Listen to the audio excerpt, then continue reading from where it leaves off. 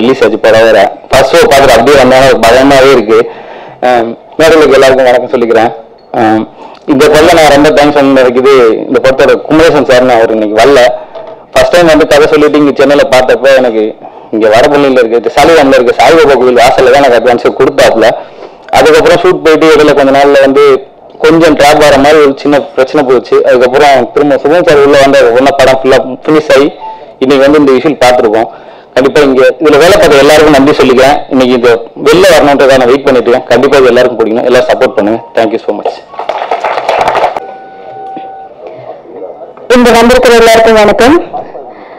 First of all இங்க வந்திருக்கிற எல்லா விஐபிஸ்க்கும் ரொம்ப தேங்க்ஸ் உங்க வேல்யூபலான டைம் எங்க கூட ஸ்பெண்ட் பண்ணிட்டு இருக்கீங்க. ரொம்ப நன்றி. அண்ட் இதுல ஃபர்ஸ்ட் ஆஃப் ஆல் தேங்க் பண்ணக்கூடிய ஒரு பர்சன் தான் director Senthilkumar sir and producers எல்லாருமே. And cameraman sir Premkumar sir எல்லாருக்குமே ரொம்ப நன்றி. Uh, இன்னைக்கு சாங்ஸ் எல்லாம் பார்த்ததுக்கு அப்புறம் தான் அஹ் பிரேம்குமார் சார் ஒரு சொல்லியிருக்காரு கேமராமேன் சார் நடந்தது தான் அதிகம் அப்படின்ட்டு. பிகாஸ் எங்க எத்தனை நாள் ஷூட் போனாலும் சீரியஸா நடந்தது தான் அதிகம். எங்க போனாலும் நடக்கிறது தான். ஒண்ணு ஹீரோ பின்னாடி ஃபாலோ பண்ணுவாரு இல்ல நீங்க பின்னாடி ஹீரோவை ஃபாலோ பண்ணணும் அப்படின்னு நிறைய சீன்ஸ் போயிருக்கு. பட் இருந்தாலும் um, நான் எக்ஸ்பெக்ட் பண்ணதை விட சூப்பராக ஒர்க் கொடுத்துருக்காரு கேமராமேன் சார் ரொம்பவே தேங்க்ஸ் அழகாக காமிச்சிருக்காரு. ரொம்ப நன்றி. அண்ட் மியூசிக் டைரக்டர் ரெண்டு பேருக்குமே ரொம்ப நன்றி. சூப்பராக இருக்கு சாங்ஸ் எல்லாமே. பார்த்ததுக்கு கேட்டதுக்கப்புறமும் uh, ரொம்ப நன்றி. இங்கே வந்திருக்கிற பர்ஸ் மீடியா எல்லாருக்குமே once again thanks thank you so much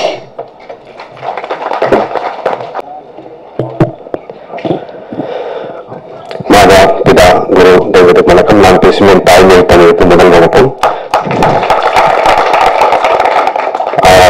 அடுத்து ஒரு பாடல் இருக்கு. அது உதயகுமார் அவர்கள் இன்னும் வந்து பத்து நிமிஷம் பாஞ்சு நிமிஷம் எடுத்துக்காரு அந்த ரெண்டு கல்யாணத்துக்கு போன முன்னாடி சொல்லிட்டாரு.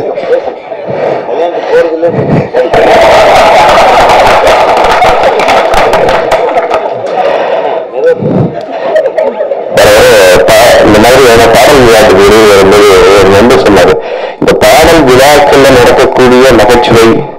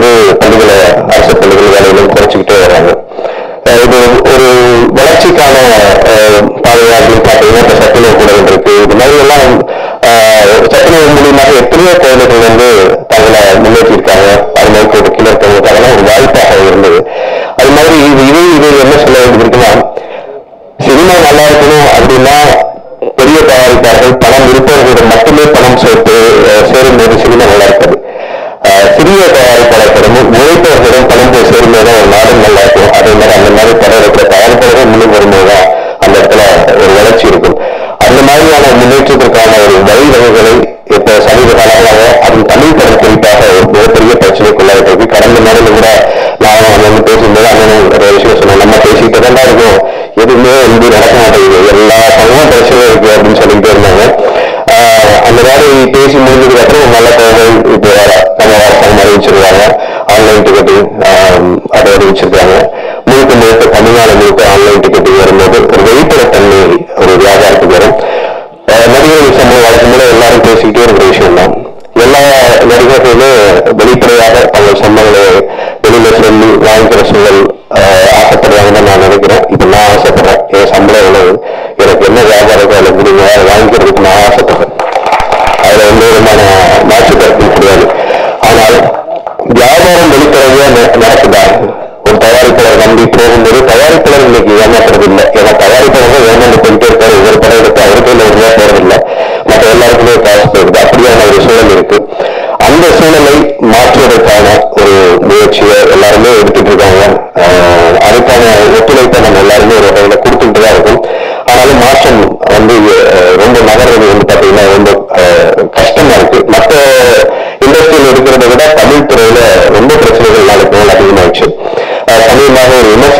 each other.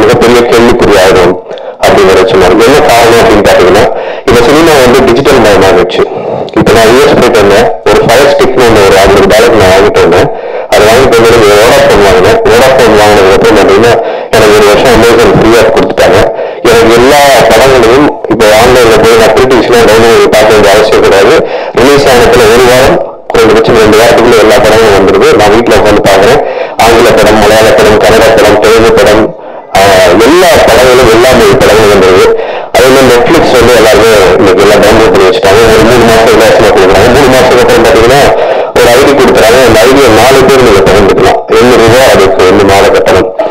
இது மாதிரி ஹாட்ஸ்டார் இது மாதிரி ஜி ஃபைவ் எல்லாமே முதல்ல யோசனை கொடுத்து மக்களை வந்து அதுக்குள்ள கொண்டு வர வச்சுட்டு திரும்ப வந்து நீங்க வீட்டில் உட்காந்து எல்லாரும் வீட்லயும் ஒரு பேப்பர் உருவாகிட்டே இருக்கு. எல்லா வீட்லயும் ஒரு பெரிய ஸ்கீம் உருவாகிட்டே இருக்கு. துறைக்கு போகக்கூடிய நபர்களுடைய எண்ணிக்கை நாளத்தில் குறையுது தரம் குறைவான படங்கள் இனிமேல் திரையிடப்படுவது என்பது மிக மிக மிக மிக பிரச்சனையாக இருக்க போகுது அப்படிங்கிறது முக்கிய முக்கியமாக சொன்னாரு அதுக்கப்புறம் இயக்குநர்கள் வந்து படம் வந்து பழைய மாதிரியாக ஒரு காதலை மட்டுமே மையப்படுத்தி இல்ல ஒரு வழக்கமான ஒரு தாழ்மையால படையெடுத்தா ஓடுறதுங்கிறது வந்து மிக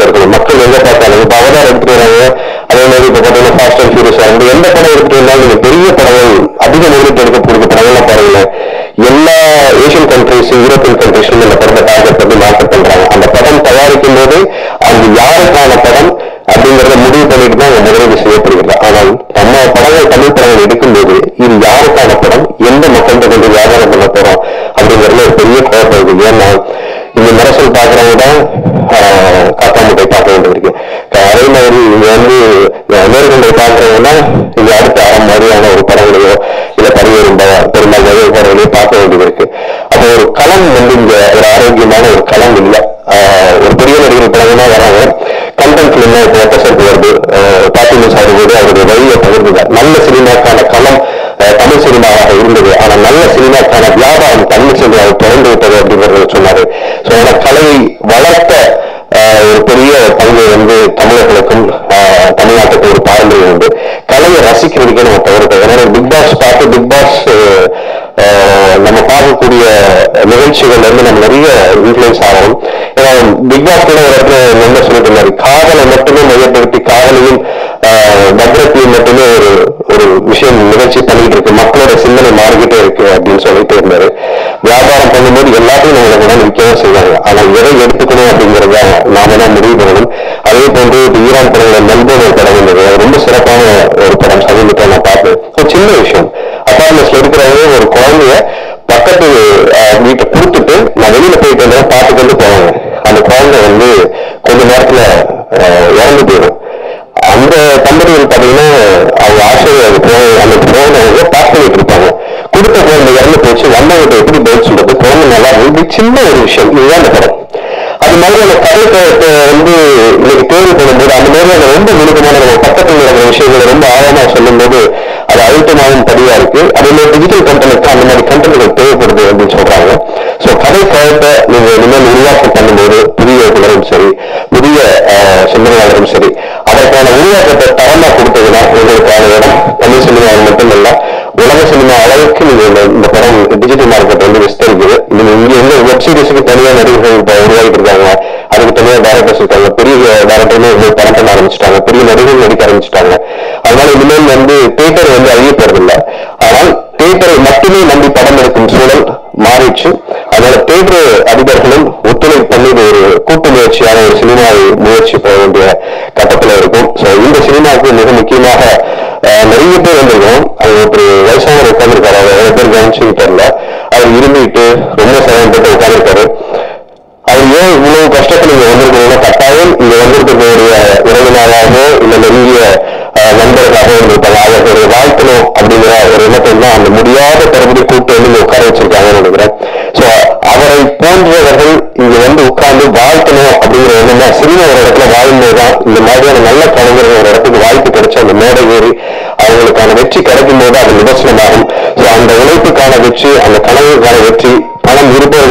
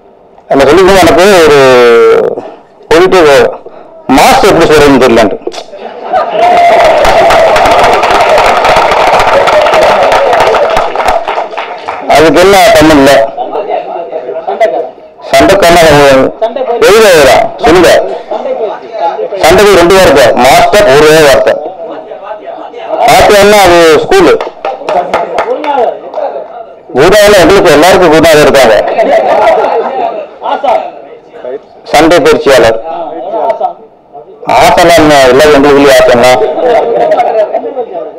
மாஸ்டர் அவங்க ஒரு வார்த்தை இங்கிலீஷ்ல. தமிழ்ல சொல்லுங்க ஒரு வார்த்தையில. சண்டை பயிற்சியாளர் பயிற்சியாளர் இல்ல. அவ்வளோ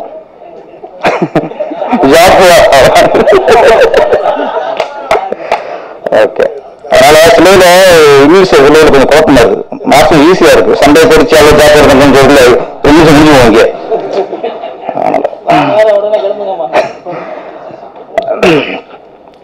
அப்புறம் இங்க பேசும்போது ஒரு ஒளிப்பதிவாளர் பேசினாரு? நாங்க பார் மாதிரி செட்டு போட்டோம் மக்களை உண்மையான பார் வச்சுட்டு குடிக்க வந்துட்டாங்க அப்படின்ட்டு. நம்ம நாட்டுல பார்னா செத்து போட்டுலாம் குடிக்க கூடிய அவசியம் இல்லை.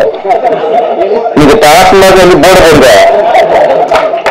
மக்கள் கூட்டத்தை பாருங்க வந்து. எனக்கு பேர்ல கூட்டம் இல்ல கோயில்ல கூட்டம் இல்ல. இவன் அரசு மீட்டிங்கோட பிரியாணி கோட்டை முடியாது அங்கே கூட மாதிரி இருக்கும். அதை போங்கன்றாங்க டாஸ்மாக் போட்ட பார்த்தா போதும். கூட்டம் அவ்வளவு ஏறுங்க சிலையில் இங்கே ஈஸியாக ஈஸியா போயா. இங்கே காசு எல்லாம் போயிட்டு இருக்கோம். ஒரு ஜர்க்கா அப்படியே ரொம்ப நேரம் ஆனால் பார்த்தா திருவாரூர் தானே ஒரு பெப்சில் ஒரு டாஸ்மாக் இருக்கு. அதை பார்க்கறதுக்கு காணாரா இருக்கும் அவ்வளோ கூட்டம். இதை பார்க்குற சில நானும் கஞ்சா அடிச்சேன்னு சொல்லி டைட்டில் போட்டுட்டாங்க எனக்கு தைரியம் ஆகிப்போச்சு என்ன சார் எனக்கு கஞ்சா அடிச்சேன்னு சொல்றாருன்ட்டு. நல்லதுல இன்னைக்கு சண்டை பயிற்சியாளர் ஜாக்கியார் பண்ண மாதிரி அதை தெரிவித்துட்டாரு நன்றி சார்.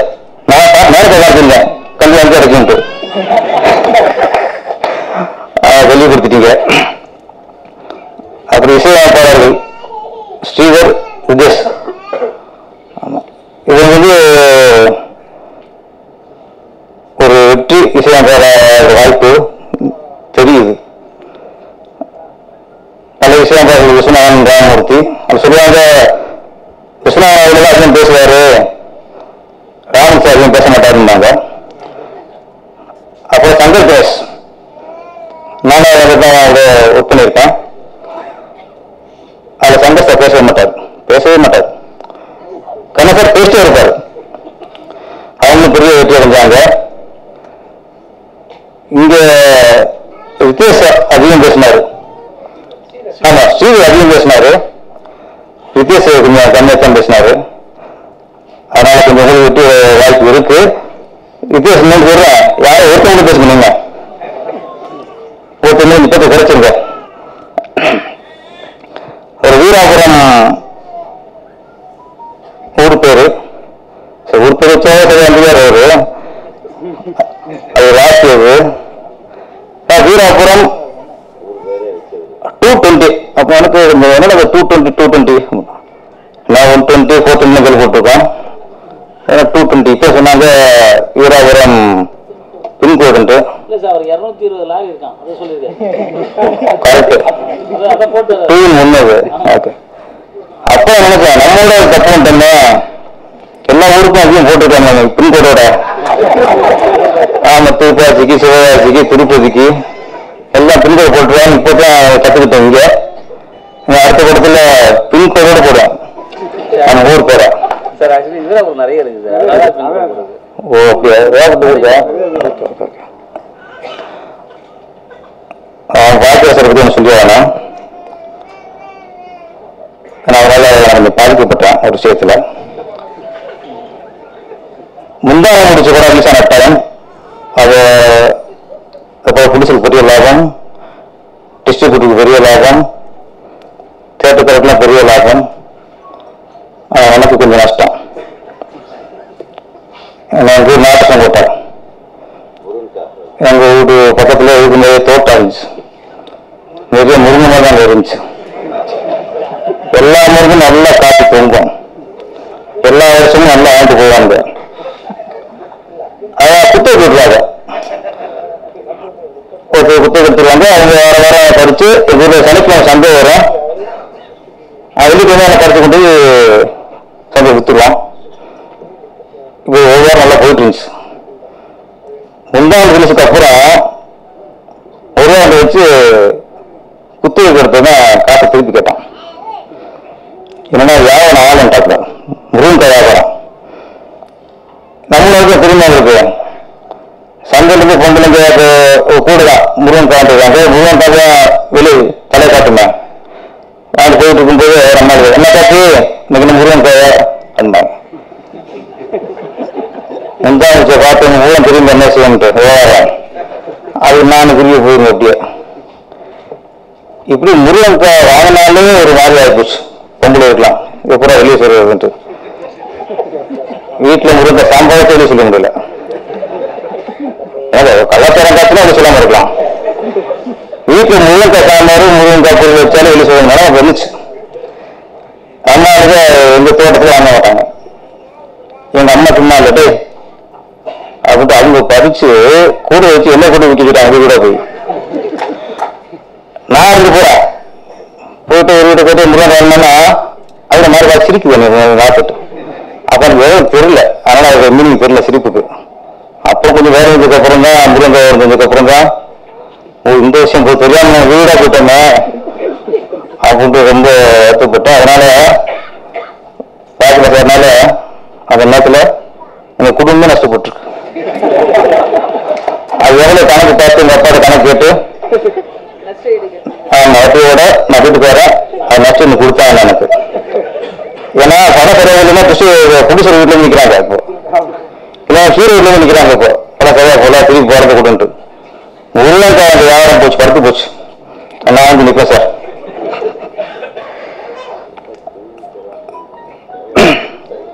அப்புறம் இங்க உள்ள இயக்குனர்.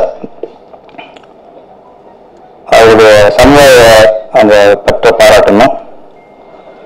மனக்கொள்ளையை பத்தி எடுத்துக்க நினைக்கிறேன். ஒரு படத்துலயும் லவ் ஸ்டோரிலாம் பார்த்தா பொண்ணு ஆன்மாச கொள்ளடிக்கும் ஆம்பளை பொம்பு மாசம் கொள்ளடிப்பான் அது அந்த காலம்.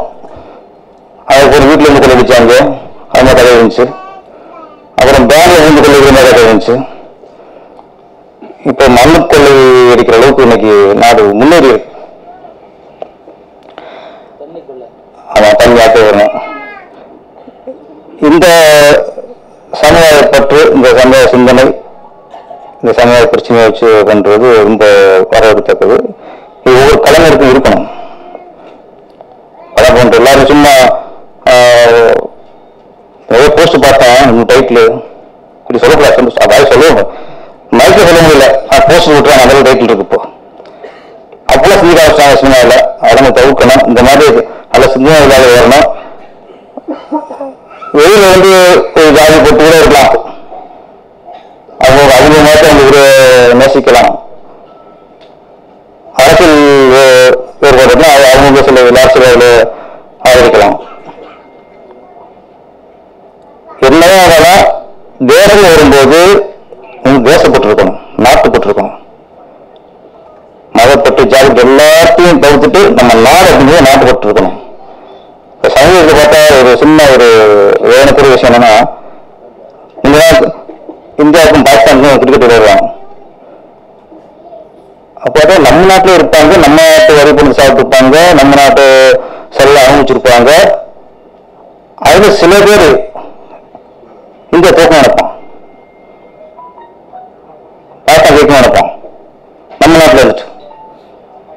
இப்போ என்னன்னா இந்த சந்திராயன் டூ எங்கேயோ மிஸ் ஆகி போச்சு.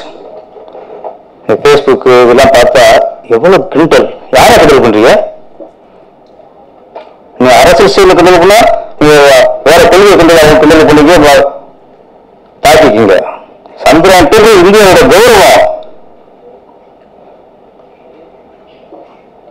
எவ்வளவு நம்ம பிரதமர் மோடி அவர் வெளிநாட்டுக்கு போறாரு நீ அதை வேணா விமர்சனம் பண்ணிக்கோ ஆனா சந்திரன் நிலவுக்கு போறத விமர்சனம் பண்ணாத அது இந்தியா அசிங்கப்படுத்துற மாதிரி நம்ம நாட்டை அசிங்கப்படுத்துற மாதிரி மத்திய சில சட்ட திட்டங்களை கொண்டு பண்ணுவீங்க எட்டு சாலை உடம்பா இல்லையா விமர்சனம் பண்ண சந்திரன் டூங்கிறது என்ன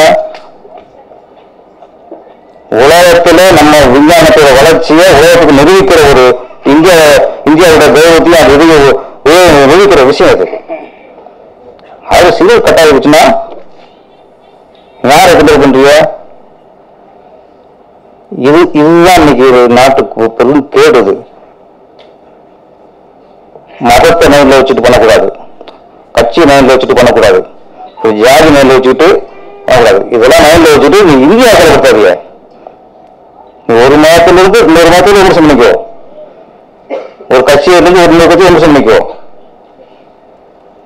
எந்த கட்சி காரணம் எந்த ஜாதி காரணம் எந்த மத காரணம் இந்தியாவை கிண்டல் பண்ணாத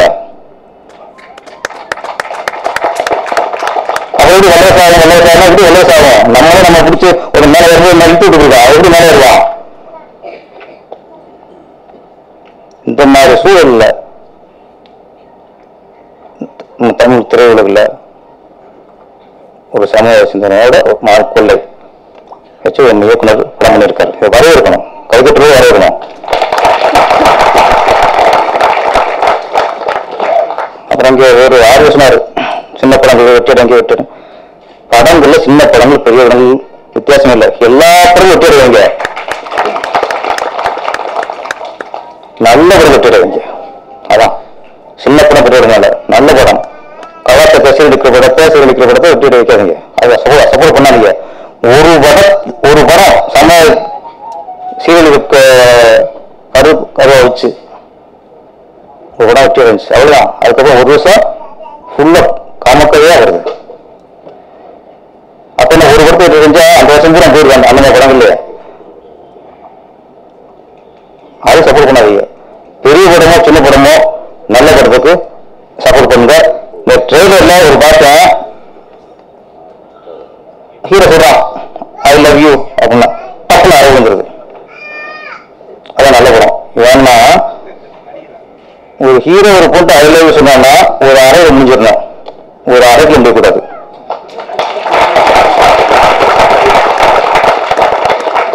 ஒரு அறையில் முடிஞ்சா நல்ல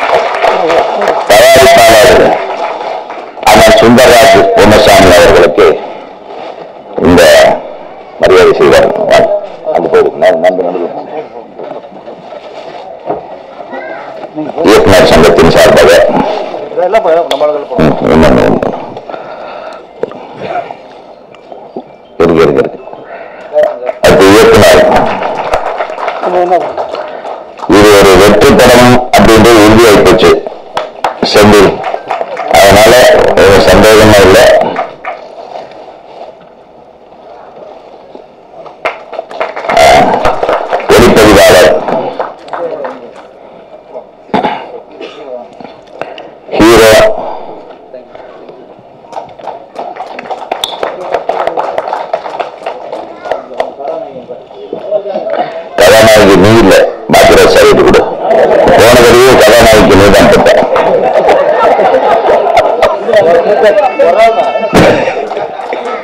அதை மட்டும் என்னை கூப்பிடவே மாட்டேன்றாங்க பாத்தீங்களா? விஷயம் பாடல் நீங்க ரெண்டு பேர் ரெண்டு பேருக்கு ஒண்ணே போட்டு. அவங்க பிரிச்சிடாத தனித்தனியா போட்டு. சால்வியும் கம்மியா இருக்கு.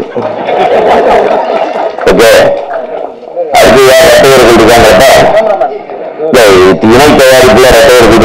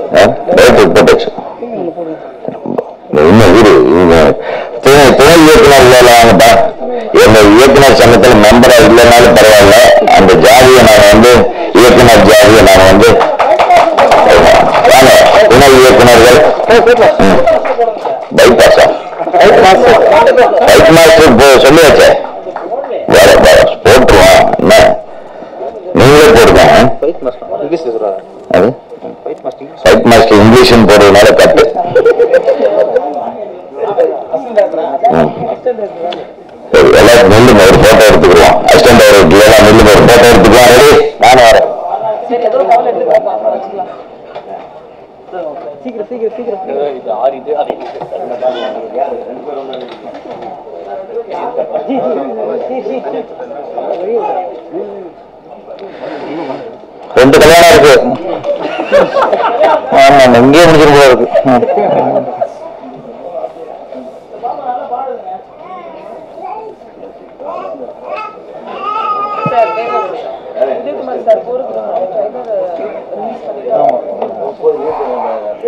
சொல்லுங்க சார் பேசி முடிச்சோம் ஒரு நிமிஷம். உடனே சொன்னா ட்ரைலர் ரிலீஸ் பண்ணிட்டு நீங்க கிளம்புனா அப்புறம் பாக்கறேன் சார்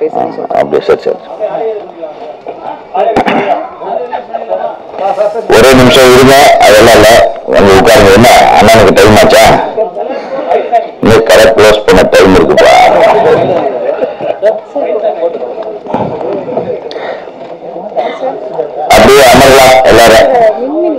நான் விட்டா போயிடுவாங்க போல இருக்குங்க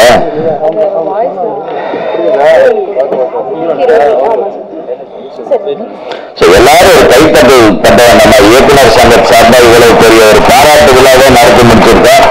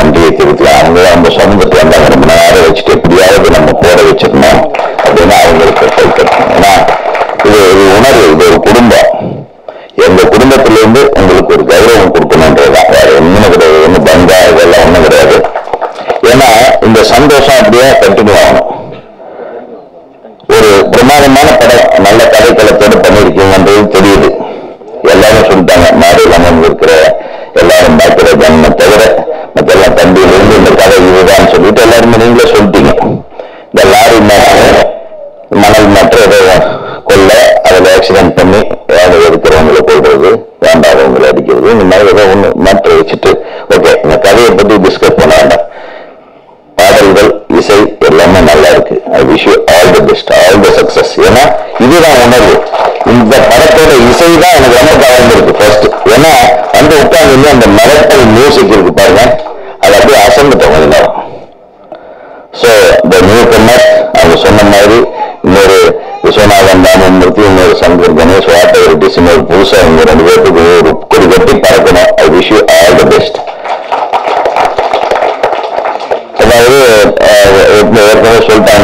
அந்த எல்லா மேட்டரையும் அதான் முன்கூட்டியே நான் முதல்ல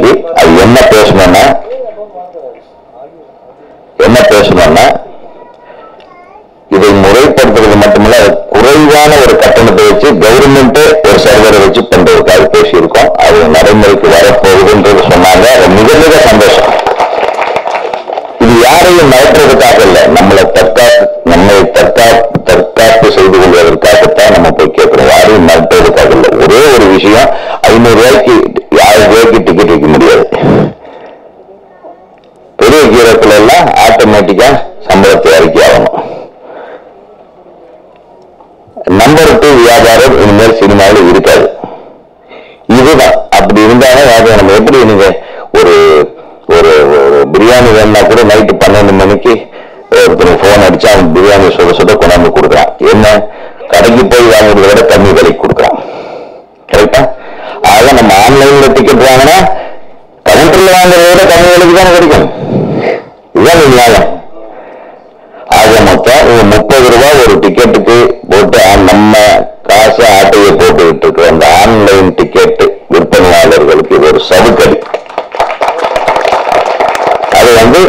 செய்யப்பட வேண்டும். அது மட்டுமல்ல நான் ஏற்கனவே திருப்பி திருப்பி சொல்லியிருக்கேன் இந்த மெத்தட் அருமையான மெத்தடு இதுல நம்ம டிக்கெட் வாங்கின உடனே டேக்ஸ் கவர்மெண்ட்டுக்கு போயிடும். ப்ரொடியூசருக்கு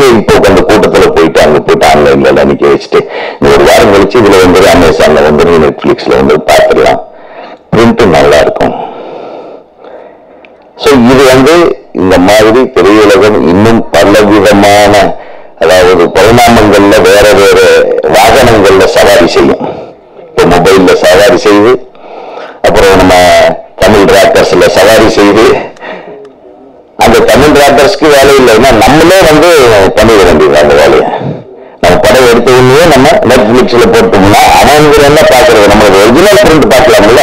அந்த மாதிரி ஒரு நிலைமை வர வேண்டும் அதற்கும் வியாபாரம் உண்டு. இப்போ எல்லாத்துக்கும் தெரியாத ஒரு விஷயம் ஒரு மிகப்பெரிய படத்தோட வியாபாரம் எவ்வளவு நடந்ததுன்னு கேள்விப்பட்டேன். அதாவது வெளிநாடுகளுக்கு உண்டான வியாபாரமும் சரி சேட்டலைட் வியாபாரமும் சரி மற்ற மொழிகளுக்கான ரைட்ஸ்லையும் சரி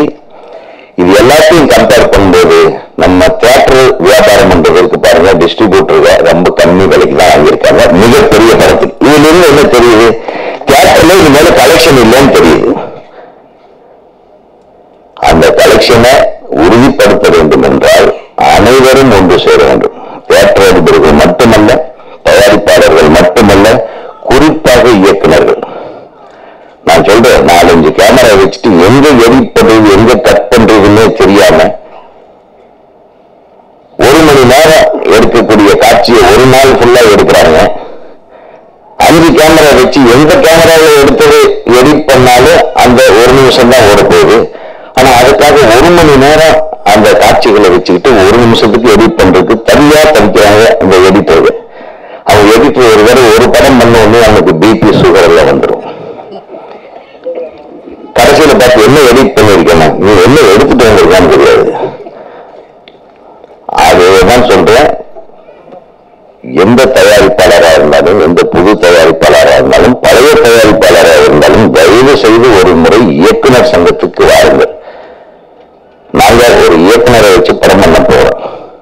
எனக்கு இந்த மாதிரி கதை வச்சிருக்கோம். இந்த மாதிரி ஒரு நடிகரை பொறுப்பணும் எந்த இயக்குனர் சரியா இருப்பாங்கன்னா நாங்க சஜஸ்ட் பண்றோம். ஒரு பெரிய லிஸ்ட் இரண்டாயிரத்தி இருநூத்தி இருபது பேர் இருக்கோம். எல்லாமே தெளிவு தெரிஞ்சவங்க அவங்கள ஒருத்தர் எடுத்துட்டு போங்க. உங்களுக்கு யாரு பிடிக்குதோ எப்படி பிடிக்குதோ.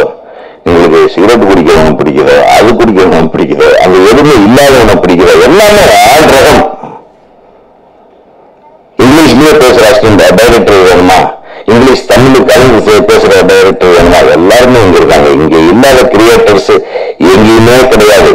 ஒரு காலத்துல தமிழ் திரைப்பட இயக்குநர்களை பார்த்தா இந்தியாவே திரும்பி பார்த்துட்டு இருந்த இங்க தானே எல்லாமே இறக்குமதி பண்ணாங்க அங்க. டெக்னாலஜி நம்ம தமிழ்நாட்டுல எல்லாம் தெரிஞ்சுக்கணும். அது எங்க போச்சுன்னு தெரியல. நம்மளுக்குள்ள ஒற்றுமை இல்லை. அந்த ஒற்றுமை காப்பாற்றப்பட வேண்டும். மீண்டும் அது ஒருங்கிணைக்கப்பட வேண்டும். ரைட்டர்ஸ் அசோசியேஷன்ல இயக்குனர் பாக்கியராஜ் அண்ணன் அவர்கள் வந்த பிறகுதான் அது ரைட்டர் அசோசியேஷன் என்ன அதுக்கு உண்டான பவர் என்னன்னு தெரியுது. நிச்சயமா. ஒவ்வொரு சினிமா திரைப்பட ஒவ்வொரு திரைப்படத்திற்கும் முழுகெலும்பு கதையும் திரைக்கதையும் தான். ஒரு சின்ன நாட்டு அதுக்கு முழுகெலும்பு திரைக்கதையும். அதான் நான் அடிக்கடி சொல்லிட்டு இருப்பேன். சிங்காரவேலன் ஒரு படம். ஒரே வீட்டுல கதை முடிஞ்சு போச்சுங்க பன்னெண்டு ரீல் திருப்பி உட்கார்ந்து பார்த்துட்டு இருக்காங்க. நான் சொல்றேன் இன்னும் முதல் ரீல்லே கதையை முடிச்சுட்டுமே? யாருமே யோசிக்காம எழுதின பக்காது அது. நானும் எதுவுமே யோசிக்காம எடுத்த படம். கமல் சாரு எதுவும் யோசிக்காம நடிச்ச படம். எப்படி ஒரு காம்பினேஷன் அம்மா கூப்பிடுவாங்க வேலை நீ போய் அந்த காலத்துல உங்க மாமா எல்லாரும் அண்ணி எனக்கு என்னை பிடிக்காம மாமா அண்ணியும் செத்து போயிட்டாங்க என்னை ஒதுக்கி வச்சாங்க செத்து போயிட்டாங்க அந்த குழந்தைய எங்கேயோ எடுத்துட்டு போயிட்டாங்க நம்ம கூடவே சேரக்கூடாதுன்ட்டு அது எங்கேயோ எங்க இருக்குன்னு தெரியாது நீ தேடி கண்டுபிடிச்சு கல்யாணம் பண்ணிக்கணும்ட்டு ஒரு வெறும் ஜட்டி போட்ட ஒரு குழந்தையை காட்டுவா தெரிய போகுது கமல் சார் பார்க்கிறாரு அந்த குஷ்புவை கண்டுபிடிச்சு கல்யாணம் பண்ணிக்குவாருன்றது அந்த ரீலோட முடிஞ்சு போச்சு இது எப்படி கண்டுபிடிச்சு கல்யாணம் பண்ணுறதுதான் கதை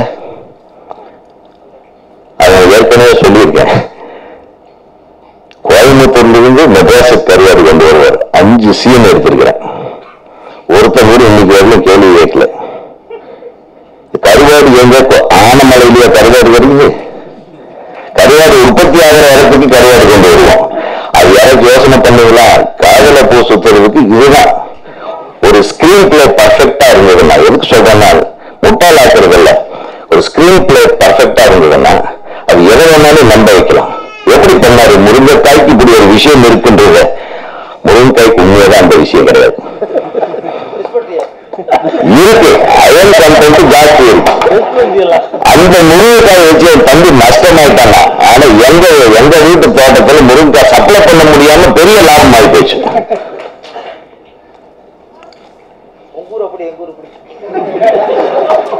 நான் அந்த காண முருங்கைக்காய் திடீர்னு போயிருப்பாங்கன்னு ஒரு கதை சொல்லுவாருன்னு பார்த்தா எங்களுக்கு விற்க முடியல அந்த முருங்கைக்காய் அவ்வளவு பாப்புலர் ஆனது அவருடைய இதுல தான் அவருடைய படத்தின் மூலமா. ஒவ்வொரு விஷயத்திலும் ஒரு சயின்டிபிக் விஷயம் இருக்கும் அது கொஞ்சம் அப்படி இப்படி இருக்கும். அது கொஞ்சம் ரசிக்கிற மாதிரி இருக்கும் கொஞ்சம் அப்படி இப்படி இருக்கும். அது அதுதான் ஜாலி அதே மாதிரி நம்ம எனக்கு ரொம்ப பிடிச்ச சீன். அண்ணனுடைய படத்தில் நான் நிறைய அதை பத்தி ஆராய்ச்சியே பண்ணியிருக்கேன். அந்த ஏழு நாட்கள் ஆகட்டும். அப்புறம் அது இது நம்ம ஆள் நம்ம மாமிக்கிட்ட அந்த வடை மாற்றம்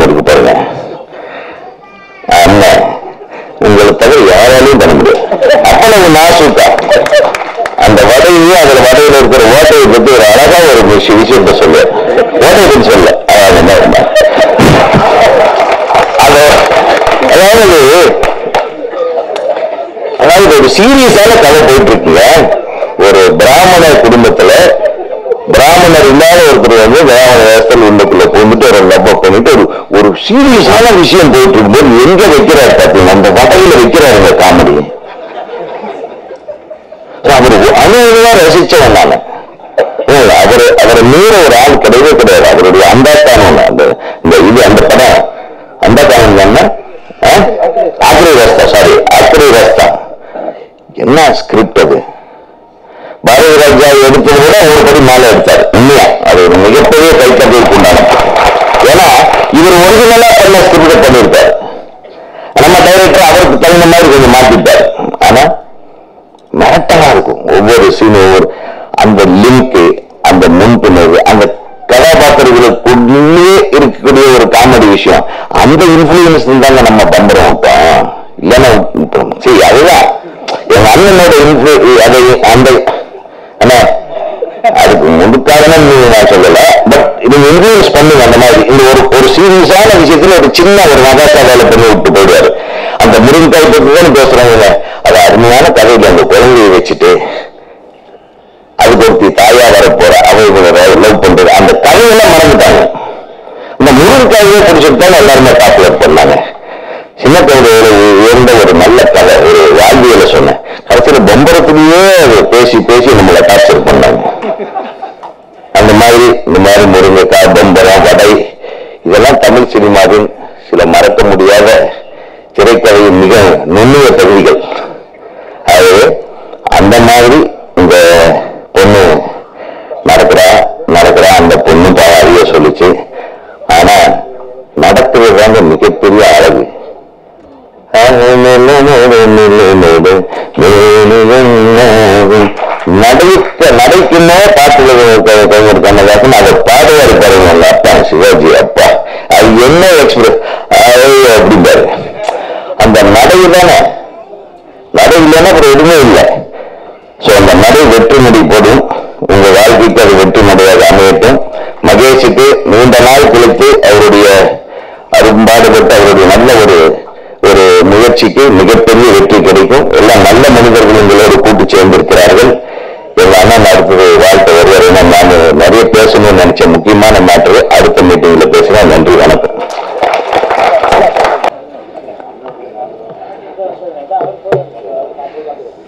இப்பொழுது இசைத்தட்டை Bhagyaraj sir R Udhayakumar sir Perarasu ஆகியோர் வெளியிட தயாரிப்பாளர் சுந்தரராஜன் அவர்கள் பெற்றுக் கொள்வார்கள் இதையடுத்து Bhagyaraj sir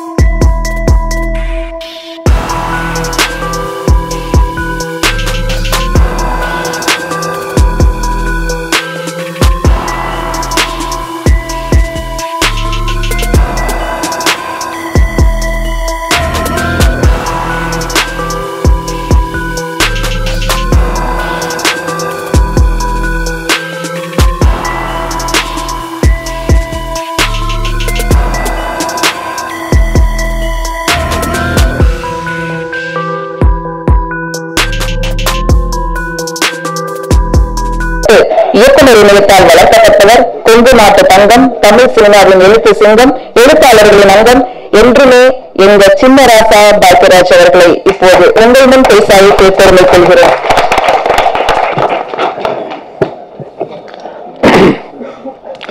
Veerapuram two twenty படத்தினுடைய இசை வெளியீட்டு விழாவுக்கு வந்திருக்கும் இருக்கிற மரியாதைக்குரிய நண்பர்களுக்கும் முன்னால் இருக்கிற நண்பர்களுக்கும் பத்திரிகையாளர்கள் எல்லாத்துக்குமே என்னுடைய பணிவான வணக்கம். சுபம் சுந்தரராஜன் அவருக்கு வந்து அட்வான்ஸ் வாழ்த்துக்கள் தெரிவிச்சுக்கிறேன். அதுக்கப்புறம் நன்றியும் தெரிவிச்சுக்கிறேன். ஏன் நன்றி அப்படின்னா அவர் முதல் தடவைக்குள்ளே வர்றாரு.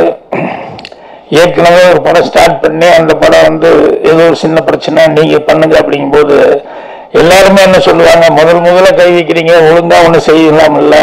எதுக்கு அறகுறையா இருக்கிறத கை வைக்கிறீங்க? அப்படின்னு தான் சொல்லுவாங்க. அதை தாண்டி இல்லை அப்படின்னு சொல்லிட்டு அந்த படத்தை ஒரு நம்பிக்கையோடு அவர் வந்து பண்ணியிருக்காரு அதனால இன்னைக்கு இத்தனை பேருக்கு ஒரு லைஃப் கிடைச்சிருக்கு.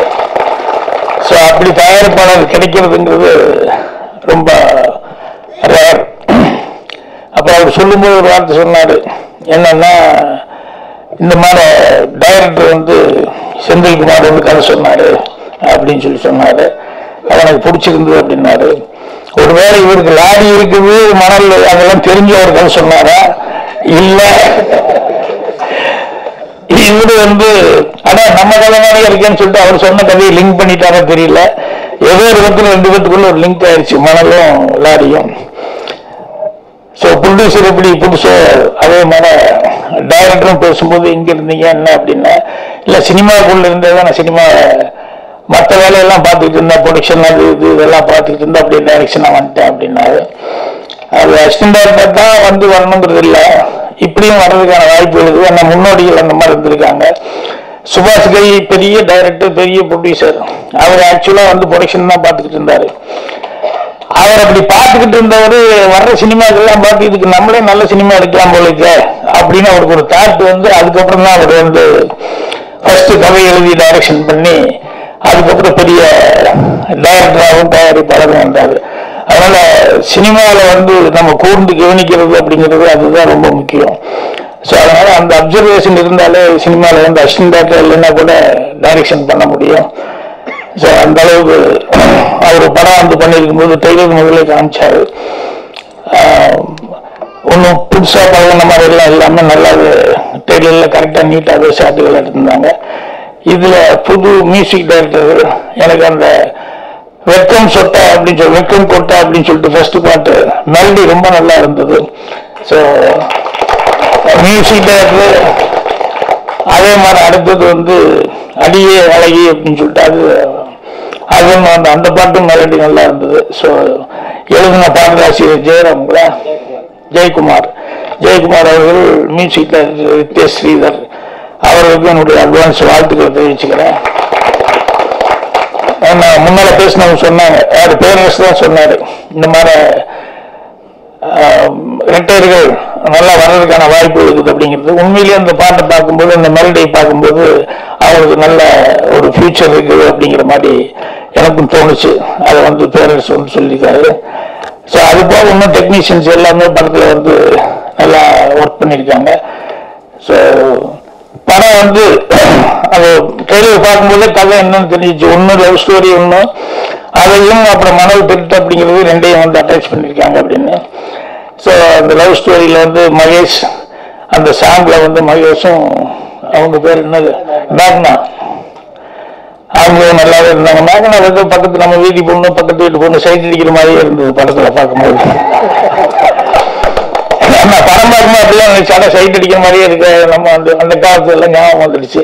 அப்போ திடீர்னு பார்த்தா பெரிய பொம்பளை மாதிரி புடவையெல்லாம் கட்டிட்டு வந்திருக்காங்களே அப்படிங்கிற மாதிரி இருந்தது ஸோ மகேஷ் அந்த பாடல் காட்சியில் அவங்களும் அவங்களும் வந்து அந்த காம்பினேஷன் நல்லாவே இருந்தது. அதுக்கப்புறம் மணல் திட்டு அப்படிங்கும்போது அதுக்குண்டான கதையும் அதில் வந்து எல்லாமே சொல்லிட்டாங்க. ஆனால் சில பேர் ட்ரெயிலர் பார்த்தோம்னா என்னென்னு புரியாது. இதில் வந்து தெளிவாக சொல்லிட்டாங்க. இந்த மாதிரி தப்பு நடக்குது யாரோ பண்ணிட்டு போறாங்க என்னமோ நடந்துட்டு போகுது நம்ம விட்டா எப்படி? நம்ம ஊரை பொறுத்த வரைக்கும் நம்ம தான் கேள்வி கேட்கணும் அப்படின்னு சொல்லிட்டு அந்த ஹீரோ ஃப்ரெண்ட்ஸுக்கு அது ஒரு டைலாக் வருது. அந்த டைலாக்லயே வந்து இதை எதிர்த்து அவங்க ஃபைட் பண்ண போறாங்க அப்படிங்கிற கதையை டெய்லர் கட் பண்ணும்போது தெளிவா கட் பண்ணிருக்காங்க.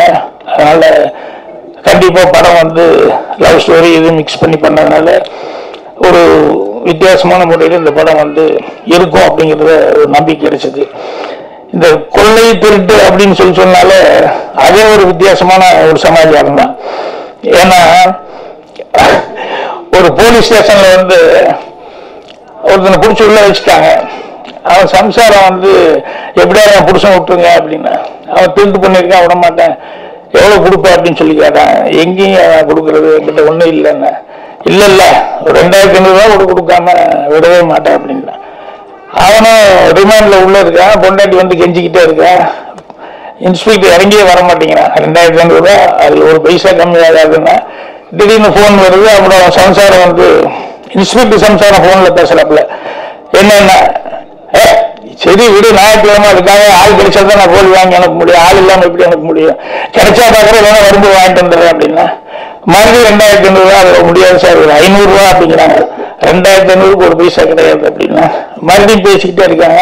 மறுபடியும் அவன் இன்ஸ்பெக்டர் பொண்டாட்டி வந்து ஃபோன் பண்ணி கேட்குறான் அட டிவி ரிப்பேர்னா விடுறி நான் யாராவது அனுப்புறேன் இல்லைன்னா நான் நாளைக்கு நானே போய் போய் பண்றேன். சும்மா தொல்லைப்படுத்திட்டு இருக்கிறீங்க. கேஸை நான் கவனிக்க முடியலையா அப்படின்னு. இப்போ இந்த ரெண்டாயிரத்தி ஐநூறு ஐநூறுலேருந்து அந்த அம்மா ஆயிரம். அவ்வளோதான் முடியும் மேலே முடியாது. நகை விற்றா கூட இவ்வளவுதான் வரும். அப்படி இப்படின்னு இருக்கும்போது அந்த ரிமாண்ட் இருக்கிற கைதி வந்து சொன்னான் தனி சார் என்ன ஒரு அரை மணி நேரம் விடுங்க. ரெண்டாயிரத்தி ஐநூறு ஐயாயிரம் கொடுத்துறேன் அப்படின்னு. அது இப்படி ஐயாயிரம் ஒரு அப்படின்னா அது அரை மணி நேரம் கொடுங்க போகுது அப்படின்னா. நேராக போனால் அரை மணி நேரத்துக்கு ஐயாயிரம் ரூபா கொண்டு கொடுத்தா வயசு கூப்பிட்டு வாடி போகலான்ட்டு போனேன். இவரு மத்தியானம் சாப்பாட்டுக்கு போனார்.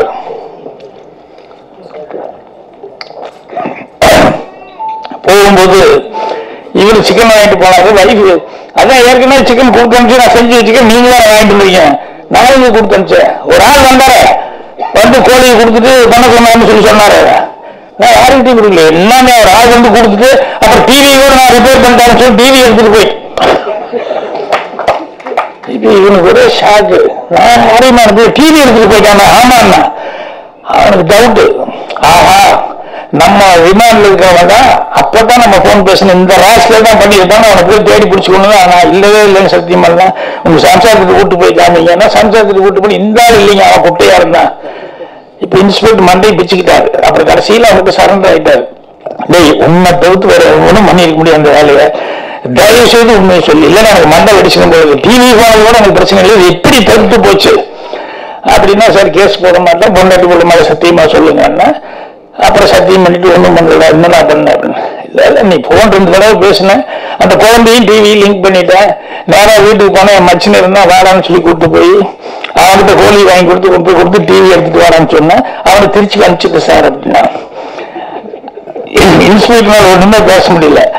சோ இந்த கொள்ளை திருட்டு அப்படிங்கிறதுல வந்து எத்தனை நூதனமான விஷயங்கள் இருக்குது அப்படின்னா அதே மாதிரி ஊர்ல இருக்க அதே மாதிரிதான். நல்ல பேண்ட் ஷர்ட் போட்டுருப்பான் அப்புறம் அவனை பார்க்கும்போது எல்லாம் டவுட் என்னடா ஏதோ ஒன்று பண்ணாம இப்படி எல்லாம் பண்ண மாட்டான்னு அப்புறம் நல்லா வந்துட்டு எல்லாம் ஃப்ரீயா பேசுவான். அப்புறம் என்னப்பா திடீர்னு இப்படி அட அங்கங்க ராத்திரில போய் வைக்கிறதா கை வைக்கிறதா? அப்படின்னு இவன் போய் திருடுவா அப்படிங்க அப்புறம் என்னன்னா ஒரு சாப்பிட்டு அங்கே இங்கேயும் போய் திருடுவாங்க ஏன்னா வாட்ச்மேன் படுத்துட்டு இருப்பாங்கல்ல படுத்துட்டு இருந்தா அது ஒரு பெரிய விஷயமான எப்படியா திருடுற வாட்ச்மேன் படுத்துட்டு இருப்பாங்கல்ல கட்டி போட்டு அண்ணா தான் படுத்துருக்கான கேட்டுக்கிட்டியா? அப்படின்னா பூட்டி சாவி எங்க வைப்பான்? தலைவன் கடிக்க வைப்பான். அவ்வளவுதான் எடுத்து தந்துடுவேன் ஏ தூங்கிட்டு இருக்கா? அப்படி அடிச்சுப்பா ஒண்ணு இல்லை போய் கை இப்படி வச்சோம்னா நல்ல தூக்கத்துல இருப்பான். அப்படி கை வச்சோம்னா உடனே புரண்டு படுத்துருவான். உடனே சாவி எடுத்துக்கிறேன் அப்படின்னு. நம்ம ஏதோ பெருசா இதுக்கெல்லாம் டெக்னிக்கலா ஐடியா பண்ணணும்னு நினைச்சா ஒண்ணுமே இல்ல. அவ்வளவு சிம்பிளா சொல்றேன். டேய் அவன் கூட இருக்கணும் கூட்டு போகணும்ல அவன் அருகாலோடு இப்படி நிப்பான். கண்ணை முடிச்சுன்னு மதியாவே மூடி போடு. கண்ணை முடிச்சு ஏதாவது ஒண்ணு அவ்வளவுதான் அப்படின்னு இப்படி நின்றுருப்பான் அவன் மூணு காலையில் ஒன்பது மணி வரைக்கும் அதுக்கப்புறம் அவன் போறதே வேக மாட்டான். பக்கத்துல இருந்தெல்லாம் வந்து அதுக்கப்புறம் சொன்னதுக்கு அப்புறம் தான் அவனுக்கு அந்த பயமே தெரியும் அப்படிமா அந்த மாதிரி கூட வந்து எவ்வளோ எவ்வளோ டெக்னிக் இருக்குது அப்படிங்கிறதெல்லாம் ஒவ்வொன்றும் நினச்சி பார்க்கும்போது ரொம்ப இதாக இருந்தது. ஸோ இது மகள் கொண்டைக்கு வந்து இதுக்கு டெக்னிக்கலாக வேண்டியதில்லை ஏன்னா அவங்க வந்து எவ்வளோ கொடுக்கணுமோ கொடுத்துட்டா போய் தனிப்பான் வேண்டிக்கும் அப்படிங்கிறாங்க. இப்ப ஊர்கள்ல இவங்க இந்த கதை எடுத்துருவாங்களே டூ இன்சிடென்ட் சொல்றாங்களே. உண்மையிலேயே ஊருக்காரங்க நம்ம ஊருக்கு இடைஞ்சல் அப்படின்னு சொல்லிட்டு ஊருக்காரங்க எல்லாம் தடுக்க ஆரம்பிச்சதுக்கு அப்புறம் தான் இந்த ப்ராப்ளமே ஓரளவுக்கு இதாக இருக்கு ஸோ இங்க பேசும்போது எல்லாருமே ஒவ்வொரு மேட்டர் பேசிட்டு எனக்கு விஜய் இவரு உதயகுமார் பேசும்போது ஒரே சிரிப்பா இருந்தது. என்னன்னா இந்த ஆன்லைன் அப்படி இப்படி இப்படின்னு சொல்லி சொல்லிட்டு இருந்தாரு எனக்கு இந்த பட்டுக்கோட்டை பாட்டு ஞாபகம் வந்துச்சு. என்னன்னா திருமண திருமணம் அது ஒன்று திட்டம் போட்டு திருடல் கொண்டு திருகிட்டே தான் இருக்கு சட்டம் போட்டு திருட அது சட்டம் போட்டு திருத்தல் கொண்டு திரு அதுன்னு சொல்லி சொன்னாங்களே அந்த பாட்டு தான் ஞாபகம் வந்துச்சு என்னென்ன ஆன்லைன் ஓபன் பண்றதே இதுங்களா இல்லையா? முதல்ல ஆன்லைன் ஓபன் பண்ணி அதுல டிக்கெட் எடுத்து வச்சுக்கிட்டாங்க இன்னொரு டிக்கெட்டு அப்புறம் அவங்க சொல்றதான வேலை நான் இது என்னன்னா இந்த ஆன்லைன்ல வருதுன்னு சொன்னோன்னா இது ஈஸியா அவங்க பண்ணிடுவாங்களா அப்படின்னு சொல்லிட்டு நான் தெரிஞ்சு விட்டு கேட்டேன். என்னங்க நானும் அதுதான் இந்த வேற ஒன்றும் இல்லை. நாங்கள் எடுத்துட்டு நான் அப்புறம் தனியா எவ்வளோ விலையோ விற்றுக்குவோம் அப்படின்னு. ஸோ அந்த மாதிரி நம்ம இந்த மாதிரி விஷயங்கள் எல்லாம் கூட இவ்வளோ டிக்கெட்டு தான் ஒரு ஆள் ரிசர்வ் பண்ணுறதுன்னு சொன்னோம்னா மேக்சிமம் அஞ்சு டிக்கெட் தான் அப்படின்னு. இப்படி பண்ணாலும் அவனுக்கு என்ன நம்ம வேலை இருக்க மாட்டாங்களா என்ன? அஞ்சு அஞ்சு டிக்கெட்னு போட்டு விமானம் பண்ணுவாங்க. ஸோ அதனால் அது வந்த நாள்லேருந்து கேட்டுக்கிட்டு இருந்தாங்க. நானும் விசாரிச்சுக்கிட்டு தான் இருந்தேன். இந்த மாதிரி இருக்கு அந்த மாதிரி இருக்கு. ஸோ நமக்கு என்னன்னா எடுக்கிற படங்கள் நல்ல படமா இருக்கணும் அதே மாதிரி நமக்கு கிடைக்கிற ஆளுங்க டிஸ்ட்ரிபியூட்டர் தேட்டருக்காரங்க இவங்க எனக்கு ரொம்ப சந்தோஷமா இருந்தது. என்னென்ன விடியல் ராஜர்கள் வந்து நம்ம என்னோட சிசிய பார்க்கிங் போல ஒத்து செருப்பு அவர் தான் வாங்கியிருக்காரு அப்படின்னு சொல்லி சொல்லி கோயம்புத்தூர் நினைச்சா இல்லை டோட்டல் ஏரியாவே அவர் தான் வாங்கியிருக்காரு. ஏன்னா இப்போ டிஸ்ட்ரிபியூட்டர் எல்லாம் பாக்குறதே ரொம்ப கஷ்டமான ஒரு சமாச்சாரம். ஸோ அவர் வந்து உங்க சிசியா படம் எனக்கு ரொம்ப பிடிச்சிருந்தது. அதனால டோட்டலாக வாங்கியிருக்கேன் அப்படின்னு ஸோ அந்த மாதிரி கரெக்டான டிஸ்ட்ரிபியூட்டர்கிட்ட போய் கரெக்டான தேட்டரில் வந்து படம் ரிலீஸ் ஆச்சுன்னா தான் அது வந்து நல்லா வர்றதுக்கான வாய்ப்பு. இது ரெண்டை விட இன்னொன்று நம்ம கரெக்டான படம் எடுக்கணுங்கிறது ரொம்ப முக்கியம். அதில் நம்ம மிஸ் பண்ணிட்டோம்னு சொன்னோம்னா அப்புறம் யாரையும் நம்ம குத்து சொல்லி எந்த பிரயோஜனமும் இல்லை. ஸோ இது ட்ரூ இன்சிடென்ட் அப்படிங்கிற பேரில் வந்து பண்ணியிருக்காங்க அப்படிங்கும்போது நிஜமாக அவர் வந்து அந்த செங்கல்பட்டு அந்த ஏரியா அப்படின்னு சொல்லி சொல்லும்போது நிஜமான நிகழ்ச்சிகள் எப்பவுமே அது மனசு தொடுற மாதிரி தான் இருக்கும். அதனால படம் வந்து டெஃபினட்டா ஏதாவது ஒரு விதத்துல வந்து ஜனங்களை பாதிக்கிற அளவுக்கு இருக்கும். அதனால படத்துக்கு முதல்ல வந்து சென்டிமெண்டா எல்லாத்துக்கும் மாலை போ இது போட்டு சால்வி போட்டுற மாதிரி துண்டை போட்டு அப்பவே ஒரு சீல்டு கொடுத்துட்டாங்க எல்லாத்துக்குமே. ப்ரொடியூசர் முன்னேற்பாடா. ஸோ அதனால வெற்றி விழா சென்டிமெண்டா இருக்கு. அதனால இன்னும் நிறைய எனக்கு என் நான் விட்டுட்டேன். முருங்காய் எத்தனை ஒரு சாய் வச்சு விடவே மாட்டேங்கிறாங்க. அதுல வேற வடையை பிடிச்சிக்கிட்டாரு. அவரு வடையில ஓட்டையெல்லாம் நான் சொல்லவே இல்லை. அவருக்கு தோன்றதெல்லாம் அவர் சேர்த்து.